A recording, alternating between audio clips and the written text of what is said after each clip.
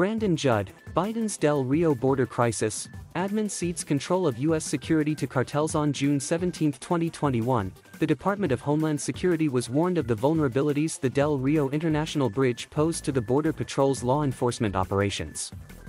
It was recommended that DHS immediately address the issue by setting up a temporary outdoor processing site as had been done previously under similar circumstances in the Rio Grande Valley at the Anzalduas Bridge. Instead of following sound advice, which would have avoided the current disaster, DHS ignored the suggestion, leaving the law enforcement community to deal with the consequences of their poor decisions. On Thursday, groups primarily consisting of Haitian nationals began crossing the border illegally at the Del Rio International Bridge in numbers that overwhelmed the Border Patrol. Border Patrol agents worked around the clock, but because DHS failed to provide simple resources, the illegal border crossers could not be processed as fast as they were entering, and they quickly began stacking up under the bridge for every 1,000 people the Border Patrol was able to process. Another 5,000 entered. In a matter of three short days the number of illegal border crossers went from 4,000 to exactly 14748 at 3.48 p.m. on Saturday, September 18th. And even more continued arriving. In a misguided attempt to cover the Biden administration's ineptness, DHS shut down Del Rio Sector's five Border Patrol checkpoints and all six of the Laredo Sector checkpoints. They completely dismantled the second tier of defense against the smuggling of criminal aliens and drugs. Instead of performing critical enforcement activities, the agents from the checkpoints have been reassigned to transport, process, and perform bridge security assignments. Aside from the Texas state resources that Governor Greg Abbott is surging to these areas, busy highways and interstates are unprotected and ripe for exploitation by criminal cartels. What the Biden administration is really doing is ensuring that criminal cartels will generate record breaking profits. DHS also announced they are surging 400 Border Patrol agents to Del Rio from other parts of the country.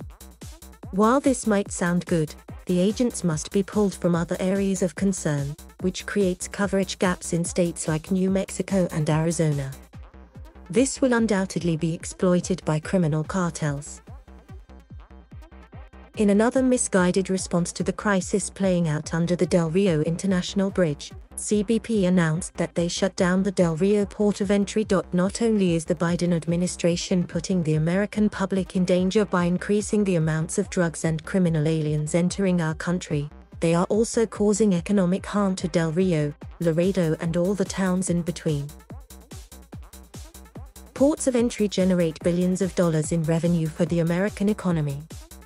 They also serve as major profit-generating tools for local communities. Shutting down the checkpoints, redeploying resources from already burdened areas and closing the port of entry is akin to waving the white flag of surrender to the cartels. By shutting down the Del Rio port of entry, all the international trade that would normally pass through Del Rio is being rerouted to the Eagle Pass port of entry, this decision will have two major ramifications. The additional travel costs for companies will be passed on to the consumer and it will further slow our ability to process commodities coming into the United States. Over the past eight months, criminal cartels have recognized that the Biden administration is slow to adapt to their strategies. Organized crime has also recognized that they can dictate law enforcement operations by simply flooding our borders with illegal immigrants. Shutting down the checkpoints, redeploying resources from already burdened areas, and closing the port of entry is akin to waving the white flag of surrender to the cartels. If not for Abbott and Texas Department of Public Safety, there would be little to no coverage in essential border security corridors. But Abbott should not be forced to do President Biden's job.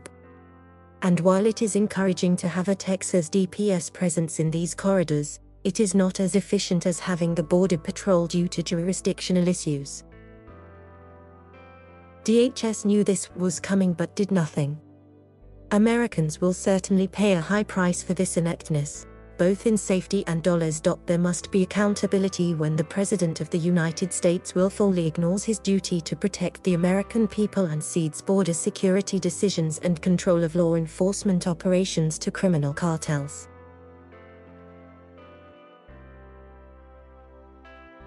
Thank you for watching. Please subscribe